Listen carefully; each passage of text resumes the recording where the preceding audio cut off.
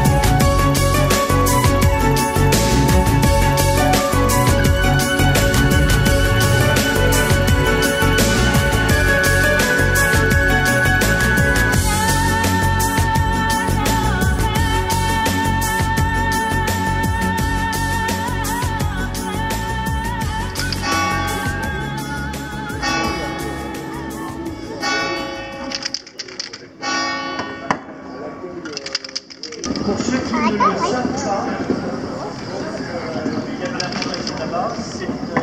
c'est une initiative hors norme à Paris que de permettre à des artistes de se confronter à ce qu'est un patrimoine religieux, les artistes du street art, de se, confronter à ça.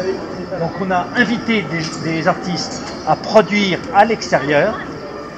Alors, actuellement, ils travaillent ici parce que, comme le temps est incertain, si des fois il pleuvait, c'est la seule manière pour rentrer très vite toutes les toiles. À l'intérieur, vous avez un des vétérans du street art en France, qui est Jérôme Ménager, qui vient d'achever une toile. Et vous avez deux autres artistes qui sont en train de produire aussi des toiles. Et à l'intérieur de l'église, vous allez trouver des œuvres, très grandes œuvres, qui ont été installées dans, euh, dans différents lieux tout à fait étranges et des médiatrices qui peuvent vous renseigner là-dessus. Et par ailleurs, euh, vendredi, samedi, vente aux enchères en faveur de l'hébergement des réfugiés. Donc c'est aussi le sens de ça. Si vous êtes impatient de ramener quelque chose et de plus modeste qu'une œuvre, vous pouvez acheter des posters d'affiches extraordinaires sur notre expo à l'intérieur. 5 euros et vous pouvez vous le faire dédicacer par des artistes.